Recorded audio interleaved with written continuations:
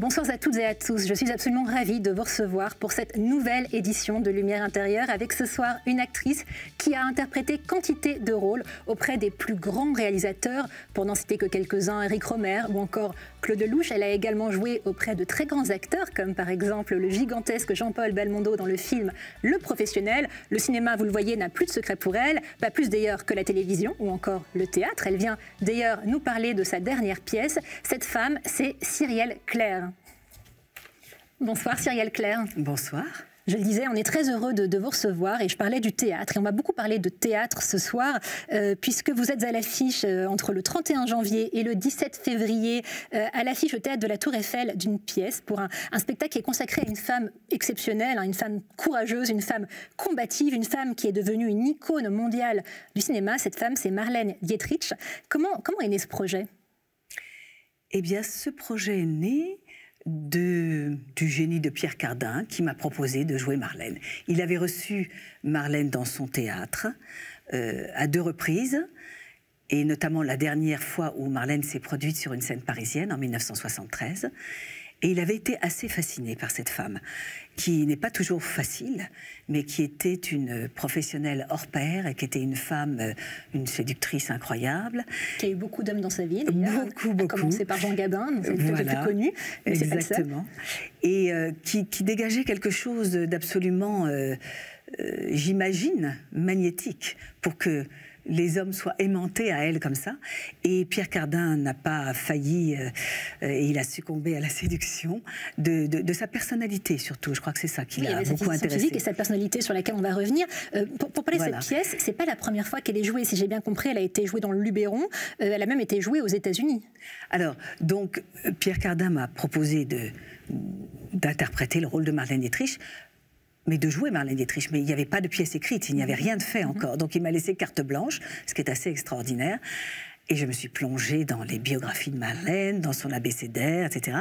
Et euh, on a créé un spectacle qui a d'abord été présenté effectivement au Festival de Lacoste. Je vous interromps, c'est donc vous qui l'avez écrit cette, cette voilà, pièce je l'ai écrit avec euh, mon camarade euh, Chambre. Gérard Chambre, voilà. qui, interprète également, vous l'avez écrit avec lui, mais il interprète aussi certains des, partenaires de Marlène. Vous disait à l'instant qu'ils étaient nombreux, euh, notamment le personnage de Joseph von Stenberg, qui a peut-être été l'un des hommes les plus importants de, la vie de Marlène Dietrich. Voilà, et surtout de sa vie professionnelle. Et sa vie professionnelle, absolument. Essentiellement, essentiellement. Mais il était amoureux d'elle également.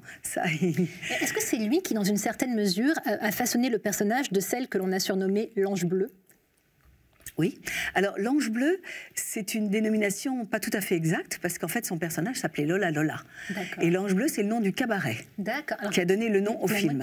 mais, on l'appelle l'ange bleu, parce qu'elle avait ses beaux yeux bleus, elle avait cette aura euh, angélique, effectivement.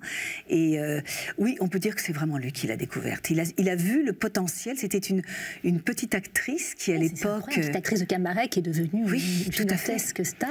Alors, à Berlin, dans les années 20, euh, ça bouillait de, euh, de, projets, de culture, de toutes sortes. Hein. Il y avait des, euh, comment dire, il y avait des, mm, des pièces de théâtre, il y avait du stand-up, ce qu'on appelle maintenant le stand-up, il y avait des, euh, comment dire, du cabaret, de la danse, tout. Et d'ailleurs Marlène, qui était une petite actrice qui se débattait un petit peu dans ce milieu artistique, mais avec, avec je crois, toujours beaucoup de d'optimisme, euh, en prenant les choses avec une énergie extraordinaire qui la caractérisait. Et alors, ce qui était fascinant, c'est que euh, dans la même soirée, elle allait lever la jambe euh, en chorus girl dans un cabaret. Ensuite, elle allait dans, elle courait dans un autre cabaret pour dire deux répliques, et elle terminait en faisant une petite chanson dans un troisième cabaret. Quelle, énergie, en effet. Ah alors, pourquoi ce sous-titre? J'étais frappée par le sous-titre de, de, la pièce, qui est Marlène comme une caresse, Dietrich comme un coup de cravache. Eh bien, ça, c'est Cocteau qui avait écrit un très joli texte pour la présenter euh, lors d'une soirée. Euh, c'est d'ailleurs Jean Marais qui disait ce texte-là. Et le texte exact, c'est son nom commence par une caresse et se termine en coup de cravache. Déjà les sonorités, voilà, les, sonorités du nom. Et mais c'est assez juste parce que ça correspond aussi à son caractère. son caractère. il était assez euh, euh, caressant et il pouvait être aussi un peu cinglant. Oui. C'est ce que j'ai cru comprendre. Alors, au fond, vous, qu'est-ce qui vous fascine le plus Vous utilisiez tout à l'heure le terme de fascinant, et je crois qu'il est très juste. Qu'est-ce qui vous fascine le plus chez cette femme après l'avoir tellement étudié, parce que vous avez fait beaucoup de recherches, beaucoup investigué, au, final, qu'est-ce qui, qui, vraiment vous, vous, vous, touche le plus, vous fascine le plus Qui elle était? Et ce qu'elle a fait de sa vie? Et comment elle a mené sa vie? Les choix cruciaux qu'elle a été amenée à prendre dans sa vie. Notamment le, choix de, refuser hein, d'être un porte-drapeau du, régime nazi et de demander euh, la nationalité américaine. Absolument. Dans les années 30, 33, il me semble, euh, elle était déjà une star internationale euh, en trois films. Et Hitler avait envoyé un de ses acolytes dans une ambassade où Marlène allait régulièrement faire renouveler son visa pour l'Amérique. Et tout d'un coup, cet homme lui fait une grande sortie. on, a consacré toute une scène à ça, où cet homme lui dit Mais Madame Vietri, vous êtes extraordinaire, vous avez une carrière magnifique et tout, mais. Et vous représentez tellement bien la femme arienne. Vous allez porter haut les valeurs du Troisième Reich. Alors quand Marlène entend ça, évidemment, elle est extrêmement lucide elle avait une intuition d'une justesse incroyable. Elle a tout de suite compris euh, que c'était un grand malade et que c'était horrible euh, ce qu'il prévoyait de faire. Et, elle a complètement euh, euh, été dans le dans, le rejet de tout ça. Rejet qui n'a pas plu, parce que si j'ai bien compris, arrêtez-moi si je me trompe, euh, Hitler a mis un contrat sur sa tête. Exactement. À ben, dans le rejet, parce que donc, euh, plusieurs fois, elle est revenue encore euh, à la charge. Alors, comme elle était très maligne, très fine, très intelligente, elle, elle a commencé à dire Oui, vous savez que moi, je ne tourne qu'avec Joseph von Sternberg. Et on lui a dit juif, Ah, ne fait plus partie des réalisateurs allemands. Et là, elle est challenge en 1933. Elle dit Ah bon, est-ce que c'est par hasard parce qu'il serait juif? Et là, on dit Mais non, mais non non, pas du tout. Il n'y a pas du tout d'antisémitisme en Allemagne. C'était pas encore avoué à cette année-là. Mais il n'empêche qu'elle avait parfaitement saisi, compris. Et puis elle trouvait que déjà il y avait un climat délétère, qu'il y avait des choses qui se préparaient, qu'elle pressentait. Les gens ne, avaient changé d'attitude. Les, enfin, il y avait, il y avait un tournant parce qu'il y a eu la crise de 29, une crise économique gigantesque, où tout le monde se débattait un petit peu. Et vous savez, quand, dans ces moments de crise, les gens se révèlent. Parfois pour le meilleur et parfois pour le pire. Pour le pire. Alors, il y a un de ces rôles dont on parle un petit peu moins, qui n'a rien à voir avec le cinéma, mais c'est son rôle de soldat, parce qu'elle s'est engagée euh, avec un engagement sans faille. Elle a été sur le front, aux côtés des soldats, chanter cette fameuse chanson Lily Marlène. Euh, ça, c'est quelque chose qui vous a vraiment touché, cette combativité? Alors précisément, donc après qu'elle ait refusé à Hitler, elle, elle s'est empressée de demander euh, la citoyenneté américaine, ce qui a pris plusieurs années. Hein. L'immigration à l'époque, euh, c'était pas commode non plus. Hein. Donc ça lui a pris longtemps, mais il n'empêche que quand la guerre arrive, en 1939, elle a enfin ses papiers et elle est devenue citoyenne américaine. Et alors là, il y avait une première humiliation par rapport euh, au Troisième Reich, au régime euh, nazi, parce que quand elle avait refusé d'être le porte-drapeau et l'emblème de, de cette terrible perspective de, de séparer les peuples, de séparer les, races, de séparer les gens. Et là, l'affront supplémentaire, c'est qu'elle renie sa mère patrie et qu'elle devient une américaine. Et, quand, et quand, ils ont vu, euh, euh, quand ils l'ont vu jurer parce qu'on jure aux États-Unis, hein, sur le drapeau américain, l'alliance et allégeance au drapeau américain. Là, et c'est là où ce contrat dont vous parlez, c'est très juste, Hitler a mis un contrat sur sa tête. Et il y a eu un moment très très difficile et très euh, dangereux, périlleux pour eux, parce qu'à un moment donné, comme vous le dites très bien, elle était sur, sur, les, hum, sur le champ de bataille. Elle a suivi pendant trois ans quand même. elle était sur le terrain. Et à un moment, il s'est trouvé qu'elle était très proche des lignes allemandes. Et là, c'était très simple. Euh, je dis, il fallait la battre. Hein. Et, elle était courageuse parce qu'elle a, été, elle, a été, elle a été exfiltrée par les Anglais qui sont venus. Euh, euh, ils, ont dépêché des parachutistes. il y avait des voitures préparées parce que ils savaient très bien qu'elle était recherché activement. Qu'il était recherché activement et que ça se serait pas bien passé du tout, du tout pour elle. Et donc, elle a eu la vie sauvée par ce fameux général Gavin, dont elle est effectivement immédiatement tombée éperdument amoureuse et qui, bien entendu, a succombé à Marlène. Ça, va de soi. elle, était euh, au front euh, assez, assez naturelle. Et ce, qui est un des aspects aussi fascinants du personnage, c'est finalement la, dualité, voire la multiplicité des personnages qu'elle était capable de, de jouer, d'interpréter. Et à l'écran, notamment, un personnage totalement fabriqué, alors que dans la vraie vie, euh, si j'ai bien compris, elle, était, très authentique, naturelle. Ah oui, elle était vraiment elle-même.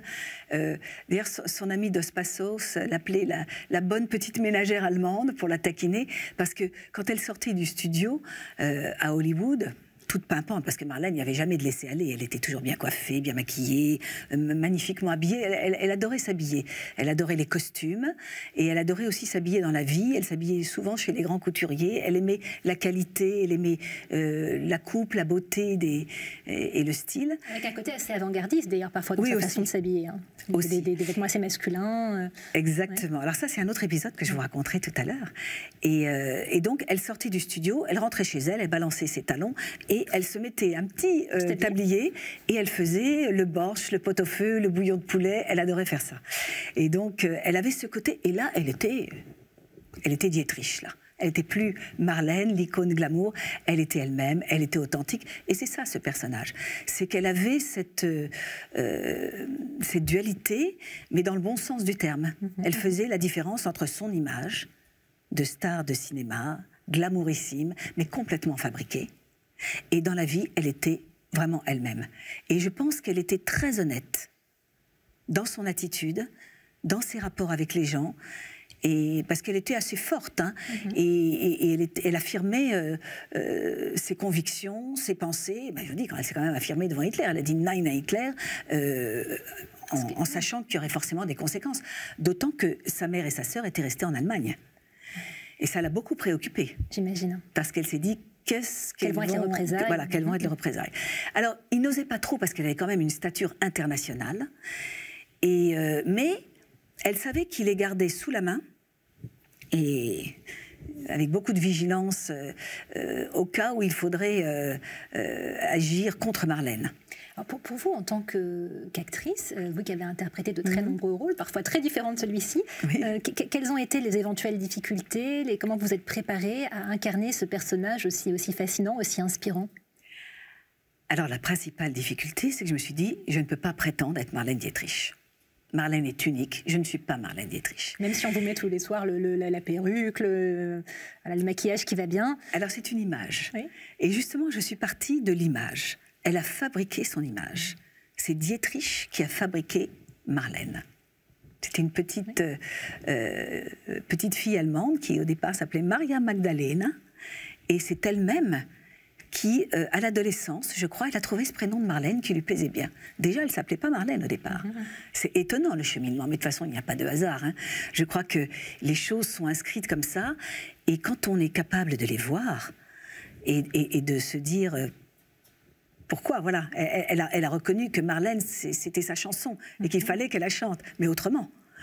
Et euh, donc je suis partie de cette idée de, Marlène qui a complètement fabriqué son image, euh, avec des, elle portait des perruques, elle s'était fait, je crois, arracher les dents de sagesse, euh, ses sourcils. Ah, j'étais fascinée ah par les sourcils. Ils ont des, des formes diverses et variées. ah, mais c'est extraordinaire. Alors que si vous remarquez bien, dans l'ange bleu, elle a les sourcils placés comme vous et moi. Et ensuite, petit à petit, alors tout d'un coup, ils sont comme ça en demi-lune.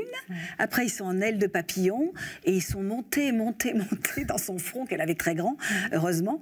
Mais c'était fascinant. Alors d'ailleurs, quand j'ai commencé à créer le personnage, j'ai essayé de d'effacer mes propres sourcils et, de me dessiner d'autres sourcils. C'était atroce. Ça ne m'allait absolument pas. Je me disais, bon, je ne peux pas faire ça. Et de toute façon, il y a toujours une part de soi, quand on interprète un personnage, il y a toujours une part de soi qui reste. Donc, j'ai oublié les sourcils de Marlène. Euh, les cheveux, la perruque, ça marche assez bien. Néanmoins, oui, je ne voulais pas prétendre être elle. Donc, j'ai aussi essayé de fabriquer une image. Et dans la pièce, je, je dis, bon, Marlène Dietrich, on peut tous se fabriquer une image et devenir des fausses Marlène. Il y en a partout, des fausses Marlène. Beaucoup d'actrices ont, interprété euh, au musical, même des transsexuels ou des travestis ah qui ont adapté Marlène parce qu'elle fascine tout le monde, les femmes comme les hommes. Et ça fonctionne. Et ça fonctionne. Et il y a eu des caricatures d'elle extraordinaires. Donc je dis, je vais fabriquer une Marlène. Et, euh, et ça, ça m'a beaucoup aidé. Et d'ailleurs, je dis, Marlène, juste pour ce soir, c'est moi. Mais juste pour ce soir, c'est un emprunt. Et après, vous voilà. Alors, on a beaucoup parlé de Marlène, de Marlène Dietrich. On va à présent parler de vous. Et pour cela, je vais passer de l'autre côté du miroir. Je vais vous laisser seul, pas pour très longtemps, et, pas complètement seul, parce que vous allez continuer de m'entendre. C'est de l'autre côté du miroir. On se retrouve dans quelques secondes. Je vous laisse découvrir la suite. D'accord.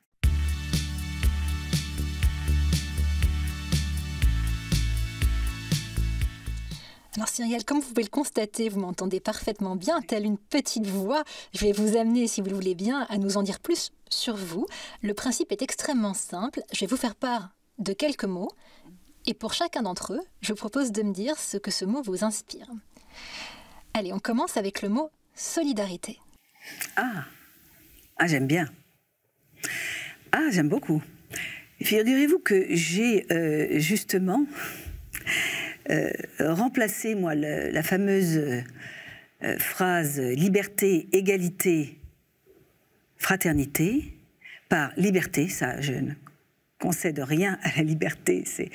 Mais l'égalité, c'est un problème difficile. Euh, donc je l'ai remplacé par dignité. Et la fraternité, je l'ai remplacée par solidarité. Pour moi, c'est liberté, dignité, solidarité. Pourquoi? Parce que je trouve que c'est... Euh, on est plus dans l'action directement.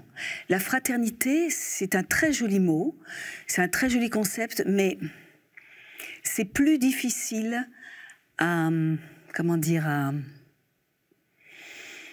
intégrer. C'est plus difficile à intégrer. Alors que la solidarité, oui. La solidarité, il faut tendre la main. Et, il faut se soutenir, et il faut avoir de l'empathie.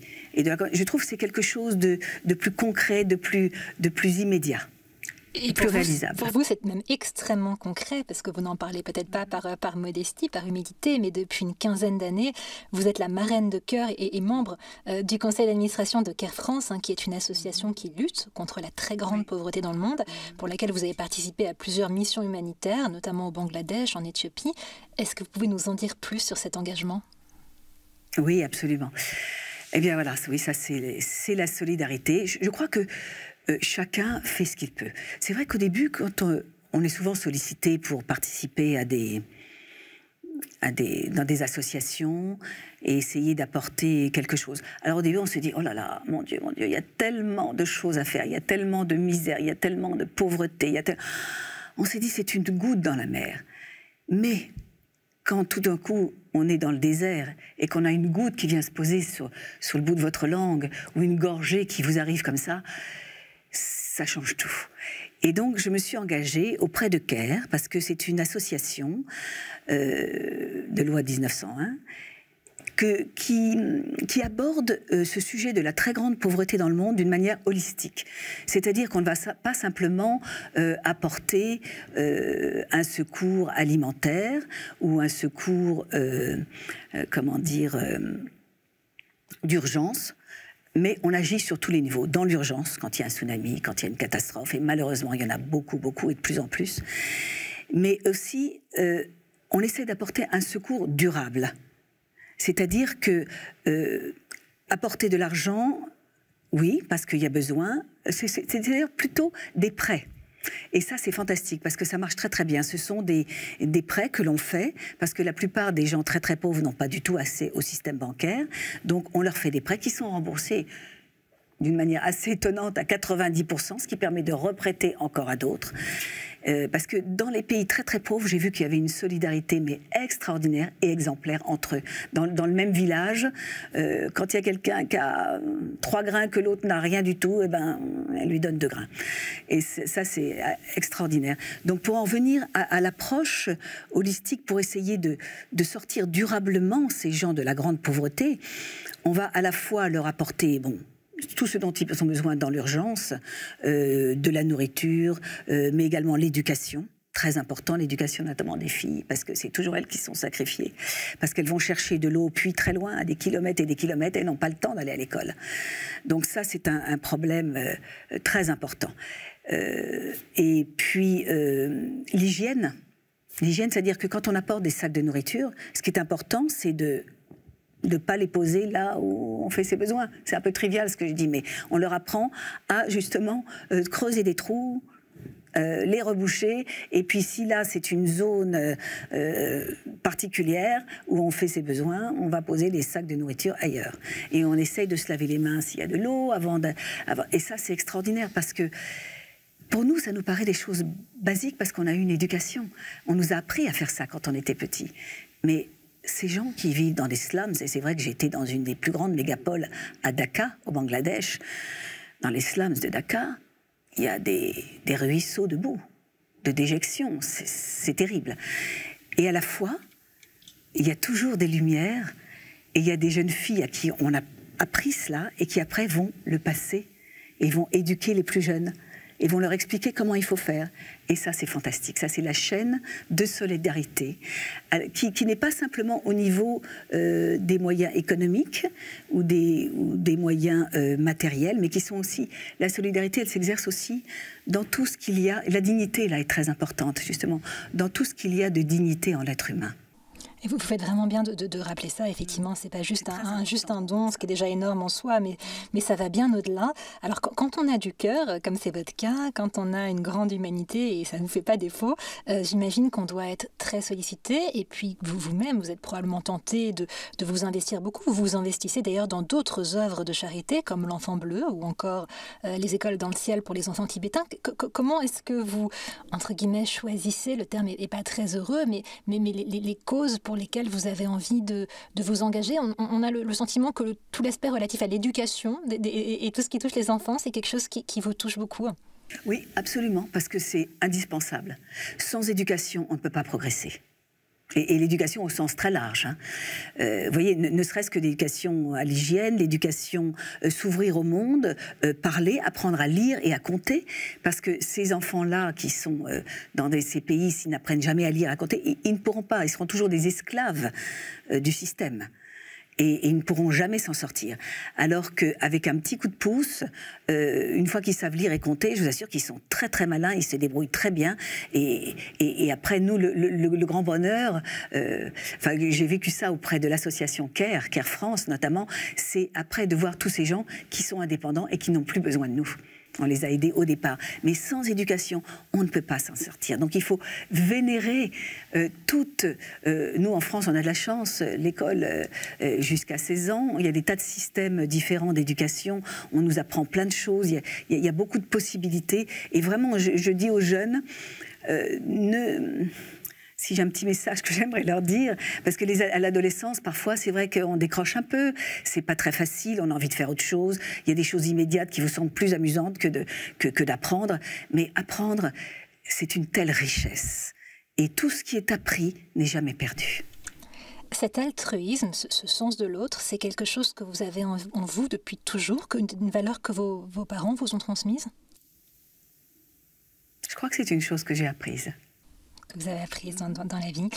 Alors, je voulais vous, vous proposer un autre mot. Ce mot, c'est le mot néant. Il vous inspire quoi?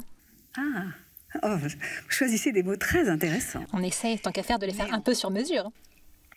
C'est bien, le néant, ça m'inspire. Ça m'inspire, c'est pas rien, le néant. Pour moi, le néant, c'est le non connu. Et dans le non connu, je crois qu'il faut être très modeste. Nous sommes très ignorants.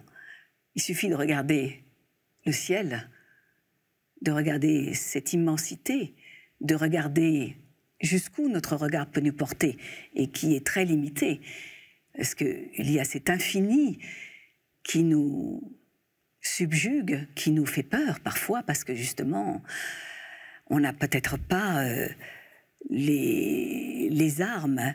Euh, il y a une sorte de vertige, on est pris par un vertige, par, un néant, c'est-à-dire une chose qu'on ne connaît pas du tout. Ce qui, m'avait interpellé il y a quelques années, c'est quand on s'était intéressé aux trous noirs. Vous savez, les trous noirs, on dit trous noirs, c'est tout noir, il n'y a rien. Ben non, justement. C'est dans les trous noirs que se rassemble euh, le plus de matière. Et c'est une matière tellement énorme, tellement compacte que la lumière a du mal à percer là, mais n'empêche qu'il y a quelque chose. Il n'y a pas rien. C'est pas parce que c'est noir qu'il n'y a rien. D'ailleurs, ici, c'est très amusant parce que ici, c'est très noir. C'est très noir. Il y a quelques lumières. Dieu merci, il y a plein de lumières, mais je suis quand même entourée euh, de, ce tissu noir. Et je vous sens derrière, il y a votre voix derrière, il y a des caméras qui sont, qui sont par là, il y a, il y a, vos camarades, euh, il y a des techniciens, il y a, il y a, des hommes et des femmes qui sont derrière. Donc, même quand on ne voit pas, le noir, c'est quand on, on a l'impression de ne pas voir. Mais il faut voir autrement. Et au-delà de, du regard physique, il y a un autre regard. Et, et qui nous permet peut-être d'aller vers ce néant mystérieux, inconnu, mais qui est à découvrir. Et je suis sûre qu'il y a des tas de choses euh, qui sont euh, euh, fascinantes en ce néant. C'est quoi pour vous cet autre regard? C'est le regard intérieur qui nous permet de voir beaucoup plus loin. Votre petite lumière intérieure. Une lumière intérieure, bien sûr. Quand on est comédienne, comédien, actrice, acteur, selon la terminologie qu'on utilise, euh, il y a à la fois des moments de, suractivité, des moments où on n'a plus le temps d'être seul avec soi-même pour, pour trouver finalement les ressources créatives, et inversement, des moments de temps mort. Comment, comment vous les avez gérés, ces moments de temps mort, quand ils se sont présentés, ces moments de, de, de vide, de néant? Des moments de temps libre, je dirais, ou des moments de repos, eh bien, ce sont des moments où on peut reprendre un autre souffle. Parce que c'est vrai qu'on est dans, un, dans une société où le temps s'accélère. On est dans une période également, dans une temporalité qui va de plus en plus vite, qui, qui nous aspire un peu. Hein. On est dans une spirale euh, très, très... Euh, comment dire, euh, assez vertigineuse, hein, assez vertigineuse. Et, je crois que pour, c'est urgent d'attendre, comme dirait l'autre. Il est urgent d'attendre, il est urgent de faire des pauses. Et c'est vrai que je, comment dire, dans notre métier qui est assez compliqué, hein, euh, on peut avoir peur justement de ces moments où, euh, dès qu'on vient de terminer une pièce ou, ou un film ou un projet, on est au chômage. C'est-à-dire qu'il y a tout à refaire, tout à recommencer, et on repart de zéro à chaque fois. Donc je peux vous dire qu'il faut une énergie incroyable, il faut un moral, il faut y croire, il faut une vraie passion pour pouvoir continuer, parce que c'est un métier euh, un peu angoissant quand même. C'est pour ça que les pauses, on est tenté de s'angoisser justement et de se dire ah, vite, vite, vite, vite, euh, replongeons-nous dans un autre projet, il faut absolument trouver. Eh bien, je crois que, euh, bon, c'est peut-être je dis ça avec un petit peu plus de recul parce que vu euh, mes années de carrière, euh, peut-être que j'ai acquis un tout petit peu de sagesse. Et justement, je suis capable maintenant d'accueillir ces pauses. Parce que c'est très douloureux de se dire, ah, maintenant, j'ai plus rien. Si plus personne n'a le parce que nous, nous, sommes dans un métier euh, où nous existons par le regard et le désir des autres. Donc c'est assez, on se dit, le jour où il est plus là, qu'est-ce qu'on devient? C'est pour ça qu'il est important de se nourrir pendant ces pauses euh, de choses qui nous font plaisir, qu'on aime. Alors, de se nourrir justement de, ce qu'on peut apporter aux autres, du propre regard, de son propre regard sur les autres, ça c'est très important. Justement, prendre le temps dans ces moments de pause de regarder les autres, euh, de les connaître un petit peu, de se dire qu'est-ce qu'on peut leur apporter, puisque maintenant j'ai un petit peu de temps. Et puis également de se nourrir aussi de ce que les autres peuvent vous apporter, parce que c'est un échange. Euh, si on sait bien regarder, on sait se nourrir de cette nourriture euh, autre, de cette nourriture artistique, de cette nourriture spirituelle, de cette nourriture euh, d'échange humain. Et euh, ça, peut, ça peut être d'aller voir des expositions, de rencontrer des artistes. Moi, moi je ne me suis jamais laissée, comment dire, décourager d'aller voir le travail des autres. Non, je suis toujours aussi toujours aussi curieuse. Je n'ai pas perdu la curiosité d'aller découvrir des choses. Et, ça, je crois que c'est une richesse. J'ai toujours envie de découvrir des choses. Le travail de mes camarades, quand moi je suis pas sur scène, euh, j'ai toujours envie d'aller au théâtre, j'ai toujours envie d'aller au cinéma, et j'ai toujours envie de, passer une soirée avec quelqu'un euh, qui est passionnant. D'ailleurs, souvent, j'ai des tas de choses en retard à faire, mais je rencontre quelqu'un qui a des choses intéressantes à dire, eh bien, j'essaie d'être disponible.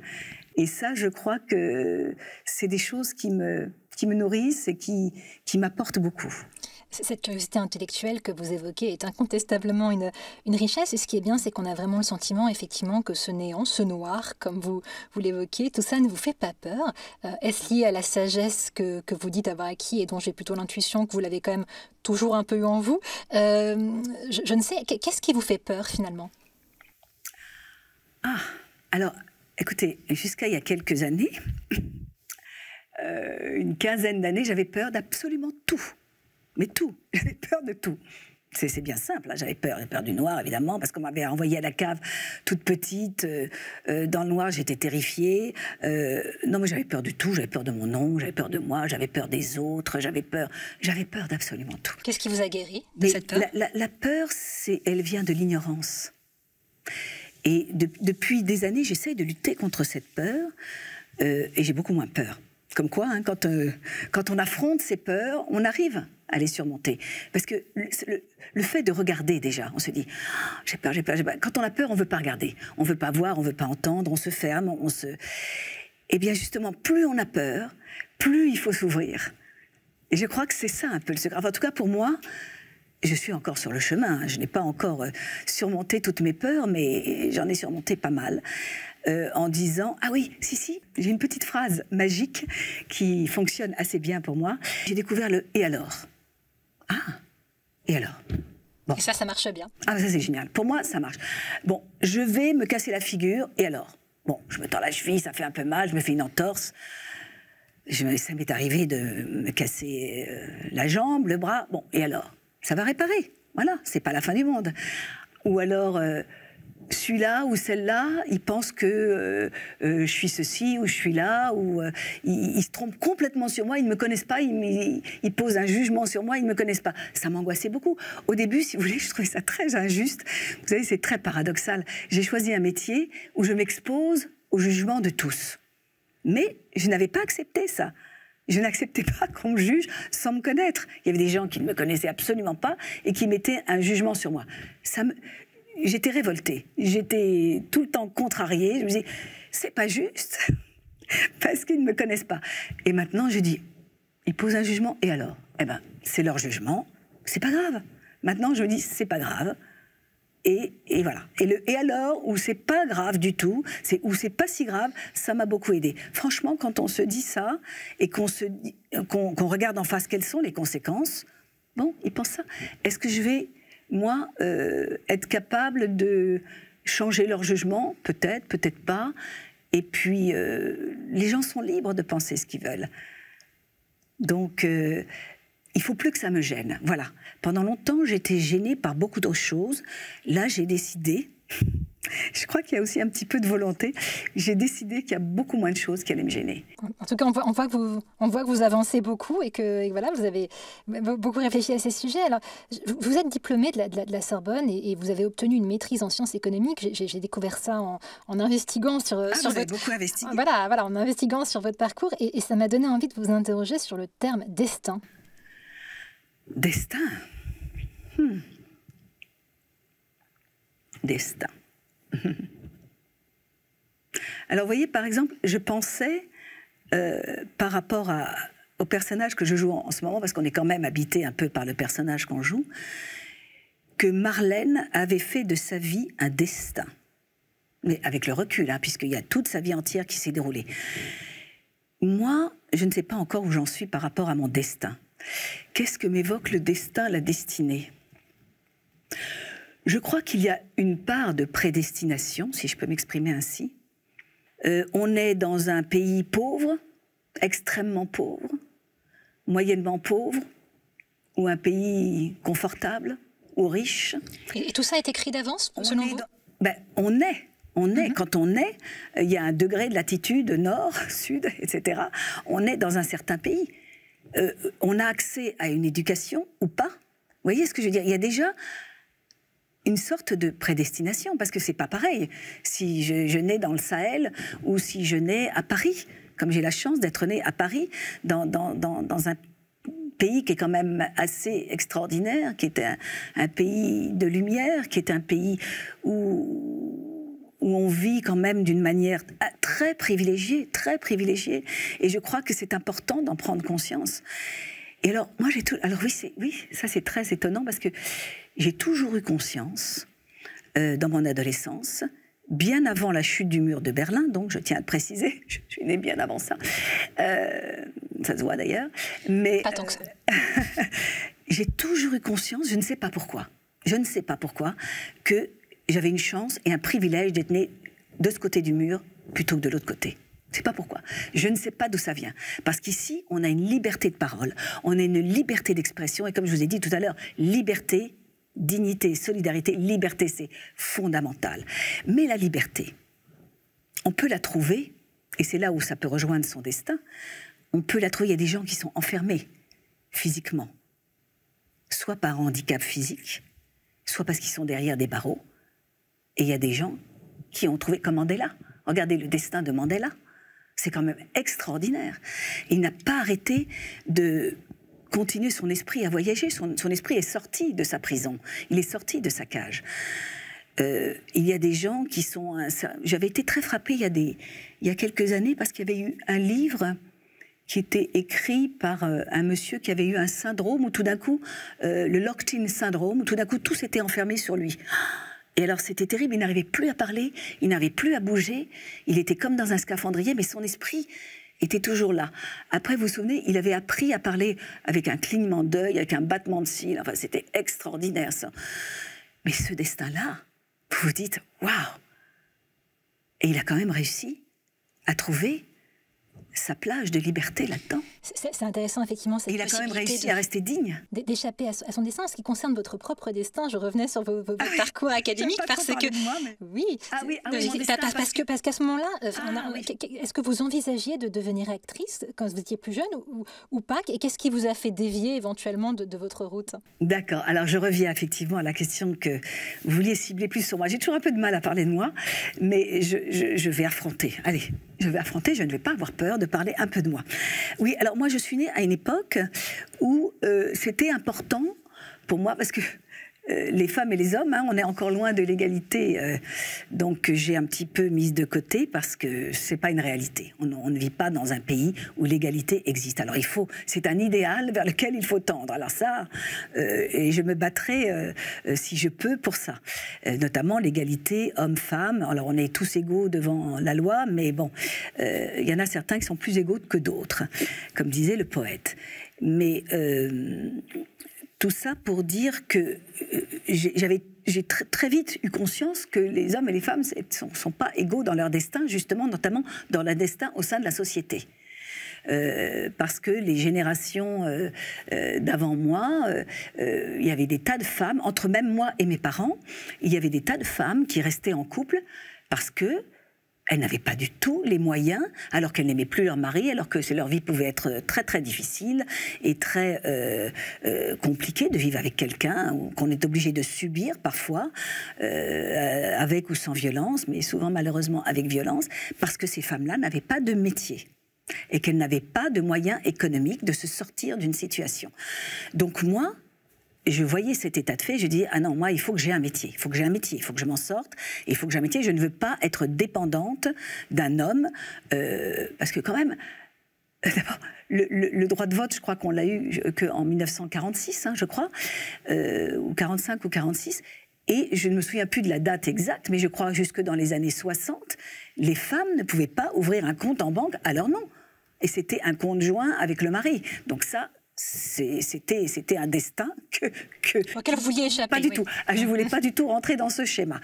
Donc j'ai fait des études puisque j'ai eu la chance de euh, d'avoir des, des, des, moyens intellectuels de faire les études et puis euh, la faculté en France est gratuite donc euh, c'était formidable. Donc je suis allée à la fac et j'ai passé une, une, maîtrise de sciences économiques parce que je me disais moi j'ai toujours été attirée par la littérature, par les arts, mais je me disais il n'y avait pas beaucoup de choses qui était euh, euh, qui, qui, m'offrait une perspective euh, économique qui pouvait me donner une autonomie. Or, à l'époque, ça a bien changé maintenant, hein, mais à l'époque, vous faisiez quatre ans d'études supérieures, vous sortiez de la faculté, dès le lendemain, vous alliez dans une entreprise, vous postuliez, vous trouviez du travail. Et, vous saviez que vous avez un, salaire qui était déjà à un certain échelon. Dois-je comprendre que ce n'était pas par passion, mais plus par sécurité que vous avez suivi ce cursus-là oui, au départ, pour justement, pour échapper euh, à, ce destin et ne pas être dépendante économiquement. Je voulais me libérer de la... Donc, c'est pour ça que je me suis dit, quoi? Eh bien, j'ai interrogé ma petite euh, euh, Cyrielle intérieure, et elle m'a dit, oh, j'aimerais bien faire du théâtre. Mais je connaissais rien au théâtre. Ni de près ni de loin, je ne connaissais absolument personne. Alors j'avais entendu parler du cours Simon. Parce que le cours Simon, il y avait euh, euh, des actrices célèbres comme Michel Morgan, comme. Euh, enfin, je sais pas, il y avait quelques acteurs célèbres à l'époque qui avaient fait le cours Simon. Je m'étais souvenu de ça. J'ai dit, il fallait au cours Simon. Et donc, j'ai frappé la corde du cours Simon. J'ai dit, qu'est-ce qu'il faut faire pour entrer au cours, etc. Voilà. Et pendant. Je me suis dit, je, je me donne cette possibilité-là. Et au bout de trois mois, j'ai su que j'allais me lancer dans ce métier. Mais encore faut-il que le métier vous accueille. Parce que vous pouvez avoir envie de faire ceci ou de faire cela et que le métier vous rejette. Et malheureusement, ce métier rejette beaucoup de gens. Mais à, lire votre filmographie, il a été plutôt accueillant à votre égard, ce métier. Ah, j'ai eu des débuts fulgurants. Je dois dire que le métier m'a très bien accueilli au départ. Et donc, euh, au bout de trois mois, j'ai su que j'allais faire ce métier. Que... Alors, je me suis consolée en me disant, bon, mes quatre ans de sciences économiques, bon, bah, ça me permettra de savoir lire un contrat et, peut-être et, de pas tomber dans le piège de beaucoup d'artistes qui euh, malheureusement ont été dépouillés par leur manager ou, qui n'ont pas suggéré, qui ne payaient jamais leurs impôts. Moi, je savais qu'il fallait que je paye les impôts. Hein. Euh, dès que j'avais de l'argent, je savais qu'il fallait parce que j'avais appris ce que c'était qu'un budget, des entrées et des sorties. Donc je me suis dit. Mais, mais, mais, moins, moins, vous aviez un métier plus, plus, plus, plus authentique, plus en phase avec ce que vous êtes, et c'est justement le dernier, le dernier mot que je voulais vous proposer. Euh, c'est un métier d'artiste, un métier d'artiste, et j'avais cette fibre artistique qui avait besoin de s'exprimer. Et, justement, je le dernier mot que je voulais vous, proposer pour cette seconde partie, c'est le mot authenticité. Authenticité.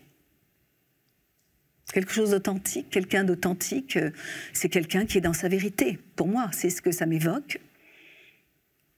C'est vrai que j'essaye de pas tricher. Alors là, à nouveau, le paradoxe, hein, parce que nous sommes dans un métier de, de faux semblants, un métier de mensonge, parce que c'est vrai que quand on nous dit... Euh, Regardez, là, je suis installée chez moi, dans, le, dans mon salon. Pas du tout, c'est un décor de théâtre. Et derrière le mur, là, il n'y a rien, il y a une planche. Donc, c'est fascinant. C'est fascinant comment de trouver la vérité dans tout cet environnement de mensonges. Et, comment est-ce qu'on parvient à rester authentique, autrement dit à rester en phase avec qui on est vraiment, quand par définition en tant qu'actrice on interprète quantité de rôles et effectivement on fait croire qu'on est chez soi alors qu'on est sur un plateau Comment est-ce qu'on comment est-ce qu'on arrive à rester en phase avec, euh, avec ce qu'on est vraiment? Ça, je crois que ça fait appel à l'enfant qu'on est. Vous savez, quand on joue à être euh, la marchande des quatre saisons, ou quand on joue à être, euh, je ne sais pas, une princesse ou une aventurière, ou je ne sais pas. Donc, et quand, les enfants jouent, vous avez remarqué, ils jouent vraiment. Ils, croient vraiment qu'ils sont la marchande ou qu'ils sont euh, euh, l'aventurière ou une guerrière ou je ne sais pas. Et, moi, j'ai remarqué aussi très vite, euh, j'ai eu la chance très vite d'avoir des, des rôles magnifiques. Et notamment quand j'ai tourné avec Jean-Louis Barrault, j'ai eu ce fameux rôle de Psyché, l'âme immortelle. Psyché, c'est quand même pas rien hein, d'avoir interprété l'âme immortelle. Comment interprétez-vous l'âme immortelle Et là, euh, c'était le début de ma carrière, c'était mon deuxième rôle au théâtre évidemment, euh, et c'était le rôle de la pièce. J'avais pas les épaules, j'avais pas le métier, j'avais pas. Et je me suis dit, il y a qu'une chose qui peut me sauver. D'abord, si Jean-Louis Barrault m'a choisi, c'est qu'il croit en moi. Et il croit en moi. Et je n'ai aucun artifice pour jouer ça. J'ai pas du tout de métier d'artiste, j'ai pas les trucs, j'ai pas les. Donc j'ai dit, ben, je vais jouer avec ma vérité. Et, je crois que c'est ce qui m'a sauvée. Et, maintenant, j'essaye toujours de, de, trouver euh, la vérité du personnage à travers ma vérité, l'authenticité du personnage, pour reprendre votre terme, avec ma vérité. Parce que si on, est au plus proche de sa vérité, euh, on ne ment pas, et du coup on ne trompe pas les autres. Et il y a quelque chose qui se passe là. Quand on est dans la vérité, il, ça chemine, c'est clair, c'est lumineux et, ça communique bien. En tout cas, merci d'être venu, d'avoir partagé avec nous cette, votre vérité. Et effectivement, c'est lumineux pour, pour reprendre votre terme. On se retrouve tout de suite sur le plateau. Merci.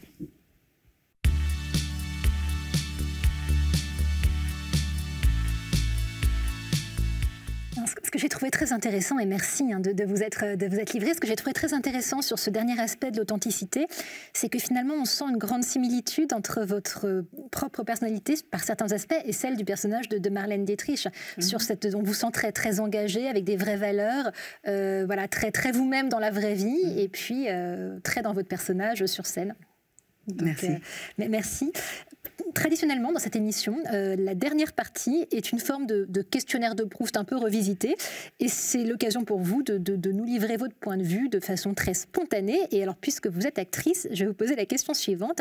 Si vous étiez un personnage de film, qui seriez-vous?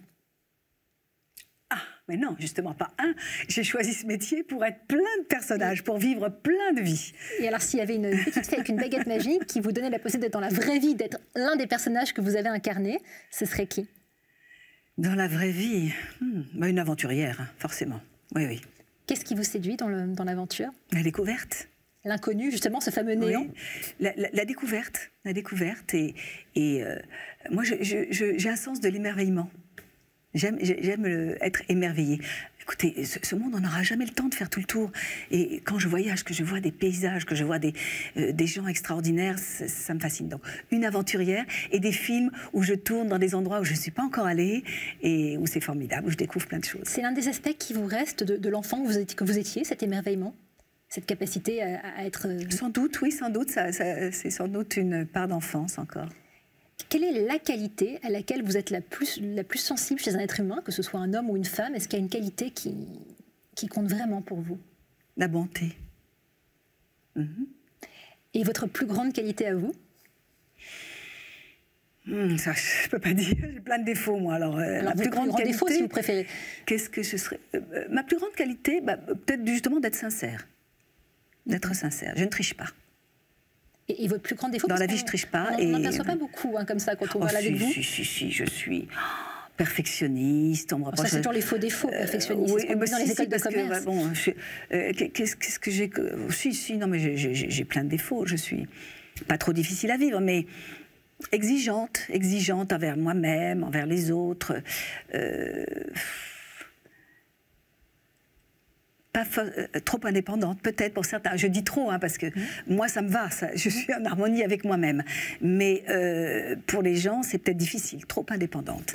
Peut-être ça qu'on peut me reprocher. C'est quoi pour vous une journée réussie? Qu'est-ce qui fait qu'à la fin d'une journée, vous vous dites c'était une journée réussie? Ah euh, Quand on a accompli certaines choses, quand, on a, quand on ne s'est pas perdu soi-même au cours de la journée? Et alors euh, là, si je parle de la fin de la journée, si on commence par le commencement, qu'est-ce qui vous donne envie de vous lever? Quel est le levier qui fait que vous, allez vous lever de beau matin, de bonne humeur?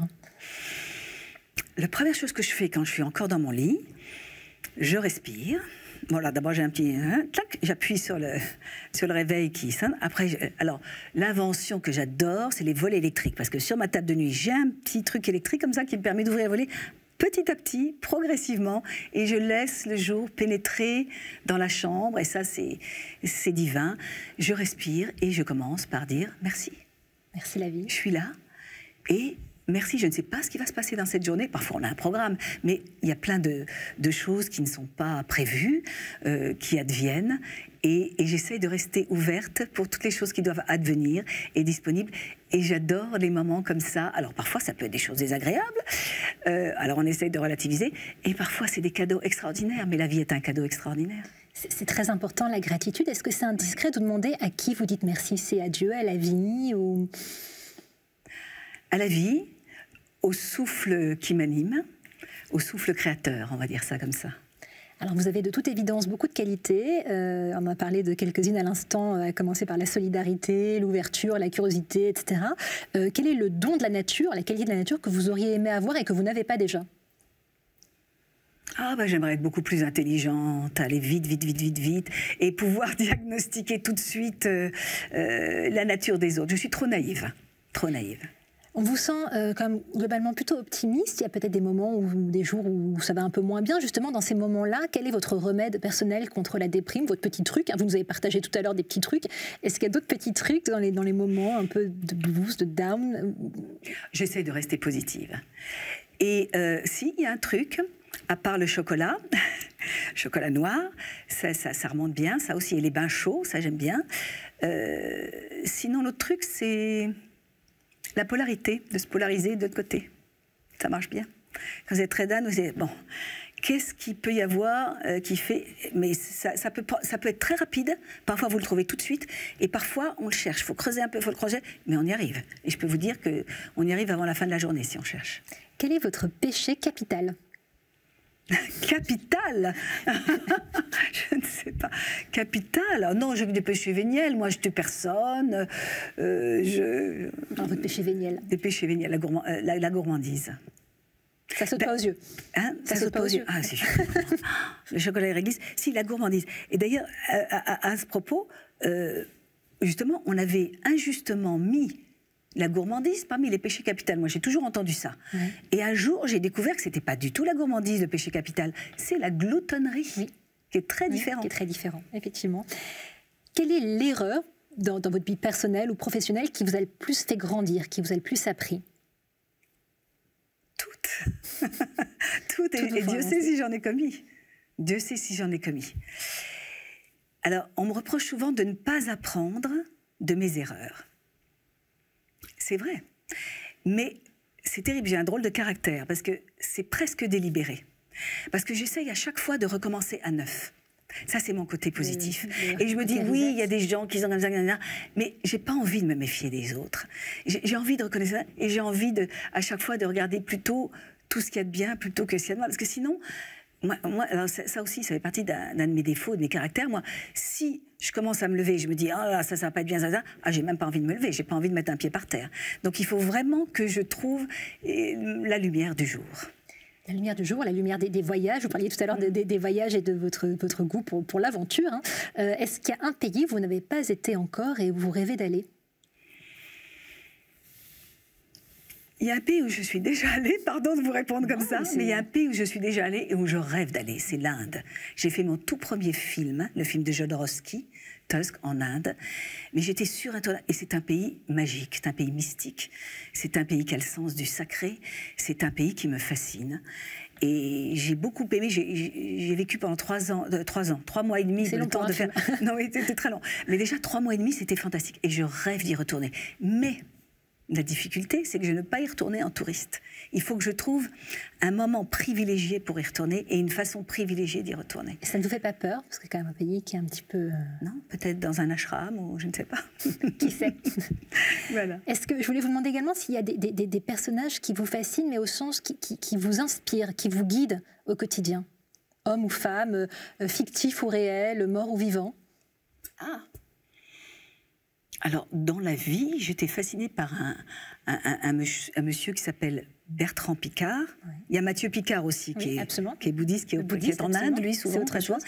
Mais Bertrand Picard aussi, c'est extraordinaire. Qui Bertrand a fait, Picard, qui est donc qui, a fait cette, euh, euh, cet avion avec ses ailes immenses, l'avion solaire c'est extraordinaire. Et qui, euh, toute sa démarche est très très importante. il dit des choses très belles d'ailleurs. Euh, parce qu'il a commencé à faire des voyages en ballon avec des montgolfières. Et je me souviens qu'il disait quelque chose. Il disait pour mieux s'élever, lâcher du lest. Ah oui.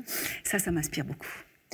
Eh bien, écoutez, ce sera la phrase de la fin. Euh, merci en tout cas beaucoup, euh, Cyril Leclerc, de vous être prêté au jeu, d'avoir partagé avec nous votre regard sur la vie, mais aussi votre plaisir à incarner euh, Marlène Dietrich sur scène. Était-elle une icône, un ange, un démon, un mythe? Peut-être un peu tout ça à la fois. En tout cas, c'est clairement l'une des, personnalités les plus éclatantes du XXe siècle. On était ravis d'évoquer ce personnage avec vous. Et pour celles, hein, celles et ceux qui veulent en savoir davantage encore sur le personnage de Marlène Dietrich, rendez-vous au théâtre de la Tour Eiffel à Paris entre le 31 janvier et le 17 février prochain. Merci à toutes et à tous de nous avoir suivis. Bonne soirée.